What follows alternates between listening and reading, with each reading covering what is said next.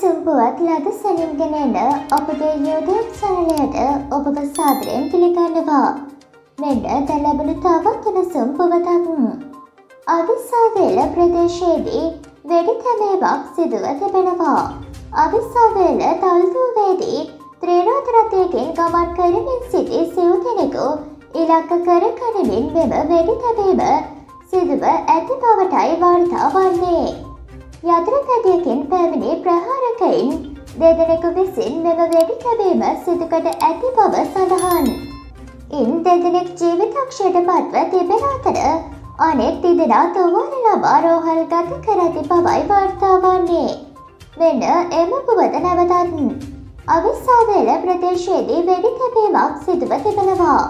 අවිස්සාවේල තල්දුවේදී ත්‍රීරෝධ රථයකින් ගමන් කරමින් සිටි සිව්දෙනෙකු ඉලක්ක කර ගනිමින් මෙම වෙඩි තැබීම සිදුව ඇති බවයි වාර්තා වන්නේ.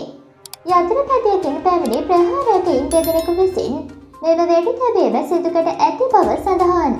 ඉන් දෙදෙනෙක් ජීවිතක්ෂයට පත්ව තිබෙන අතර අනෙක් දෙදෙනා තුවාල ලබා රෝහල්ගත කර ඇති බවයි වාර්තා වන්නේ.